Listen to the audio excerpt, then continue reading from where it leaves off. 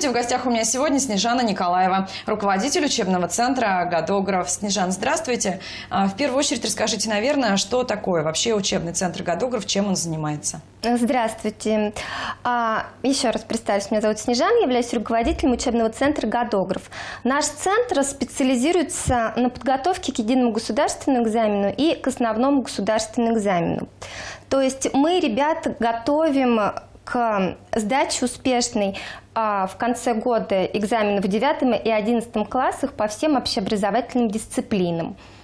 А, ну, насколько я понимаю, учебных центров годограф существует целая сеть, да? Только, то есть не только в нашем городе. Да, отличие нашей организации заключается в том, что мы не едины по России, и аналогичные центры в этом году были открыты в 12 городах. Это, ну, могу перечислить Новосибирск, Уфа, Симферополь, Санкт-Петербург, Нижний Новгород, Тюмень, Челябинск, Мурманск, Копейск. А основной наш город, э, основной наш филиал находится в городе Москве. Как давно в Рязани существует учебный центр «Кадограф»? А, наша организация существует совсем недавно. Мы молодая организация. То есть мы где-то буквально два месяца сейчас работаем, но за это время у нас уже есть показатели. А, в нашем центре обучаются около 20 ребят. И даже есть уже первые результаты нашей успешной плодотворной работы. А вот как вы считаете вообще, вот ОГЭ, ЕГЭ, да, это не так давно у нас появились все эти экзамены, но и, в принципе, наверное, с каждым годом а, ну, для детей все больше или больше стресс, да, то есть, наверное, все нервничают, все волнуются, что нужно все это сдать, что все это страшно. А, то есть, насколько вообще вот важно, нужно, да, обращаться с какой-то дополнительным, с каким-то дополнительным образованием? На самом деле, как я всегда говорю, ЕГЭ и ОГЭ сдать легко. Просто это получается как бы нововведение ну, в нашем российском образовании. А как всегда, знаете, переход с старой системы на новую всегда испытывает какие-то трудности. Поэтому больше ребята даже психологически напуганы. Но мы по поводу этого проводим, конечно, очень сильную подготовку. Мы даже устраиваем такие пробные экзамены. Как раз у нас в воскресенье был экзамен по биологии.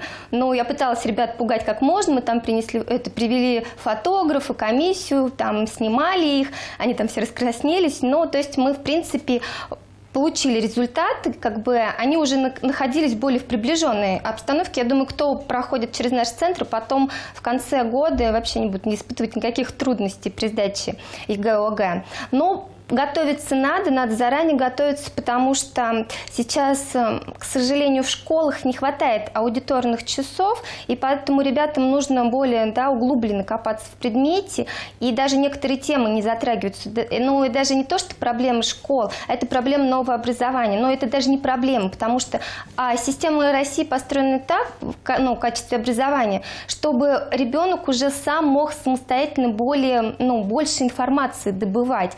Ну, вы сами знаете, если мы более, больше читаем, да, развиваемся, то, естественно, мы становимся умнее и сильнее. И таких ребят мы хотим воспитать. То есть, как я говорю, мы воспитываем будущее России. Наши ребята все уникальны, они занимаются спортом, искусством, наукой. Ну вот вы говорите 20 человек, то есть это, я так понимаю, первый опыт, да, учебного центра на данный момент? Да, в этом году мы только вот за два месяца у нас уже 20 ребят, а в городе Москве мы существуем уже три года. И то есть а, наш московский филиал выпустил около 800 ребят, также успешной работы. У нас есть записи, то есть видеозаписи, видеоотзывов ну, от Московского учебного центра «Годограф», где там очень много положительных э, ну, отзывов ребят, которые прошли это обучение. Потому что мы вот в, нашем, как бы в нашей системе учебных центров «Годограф», как федеральной сети по России, в это является основным главным это ребенок. Как я говорю, ну, дети приходят, и, и я говорю, вы тут самый главный. То есть мне можно говорить все, здесь главное не преподаватель, а вы. То есть мы решаем все ваши проблемы, даже не касаемо того предмета, который вы к нам приходите. Также мы можем помочь там выполнить домашние задания по остальным другим предметам. Ну, то есть мы постоянно на, как бы, ВКонтакте, и мы постоянно общаемся. Наши ребята могут спокойно в течение недели общаться с нашими преподавателями. А вообще вот в каком режиме работает учебный центр? То есть ребенок целый день учится, да, грубо говоря. А вот когда найти время и когда есть время у учебного центра, чтобы принять этого ребенка а, в свои пенаты? Ну вот как это, мне тоже звонили, как вы работаете? Я всем отвечаю, мы работаем круглосуточно. То есть если есть, когда дети во вторую же смену учатся, мы делаем так, чтобы то есть ребятам было удобно прийти к нам в любой момент. Я это расписание составляем так, чтобы как бы было удобно и им, ну, группу формируем. Мы постоянно переносим. Если кто-то не сможет, кто-то уезжает. Мы, потому что у нас очень много спортсменов, вот дзюдоисты, лыжники, кикбоксеры, каратисты. И, соответственно, из-за того, что они постоянно отсутствуют в школах, да, у них проблемы. И мы стараемся под них подстроиться.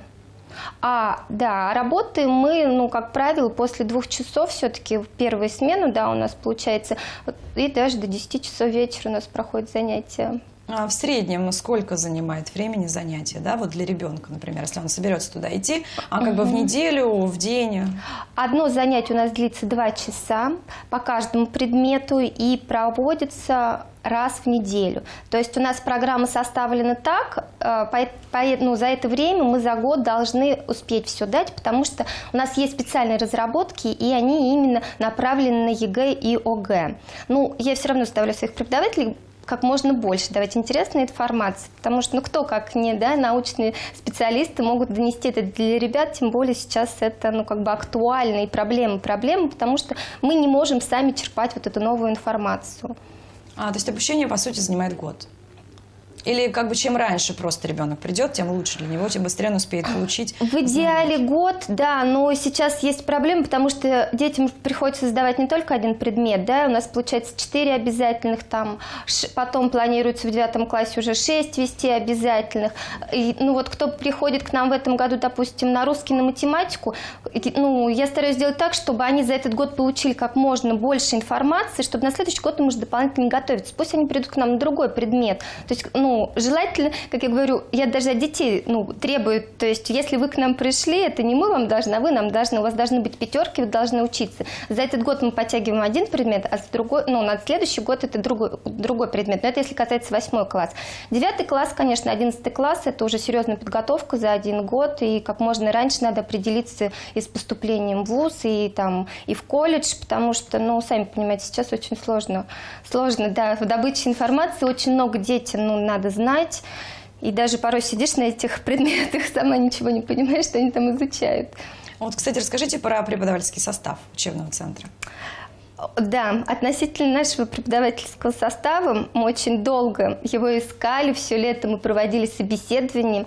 К этому я очень критично отношусь. В основном у нас большая часть из радиоакадемии – это аспиранты, как показывает практика.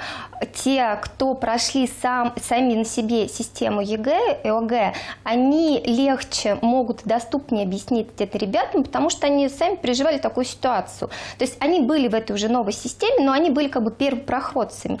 И единственный, да, у меня критерий, то есть ты должен именно вот если, например, физик увлекается физикой, то есть он продолжает обучение или работает, ну, что касается физики, и сам должен пройти эту систему ЕГЭ. И таким образом, ну, мы даже психологически попадаем с преподавателями и с ребятами. Ну, вот пока всем нашим ребятам нравятся наши преподаватели, то есть все от нас к нам приходят с улыбкой и уходят от нас с улыбкой. Ну, как вообще считаете, вот введение этих экзаменов, оно положительно скажется на образовании наших детей?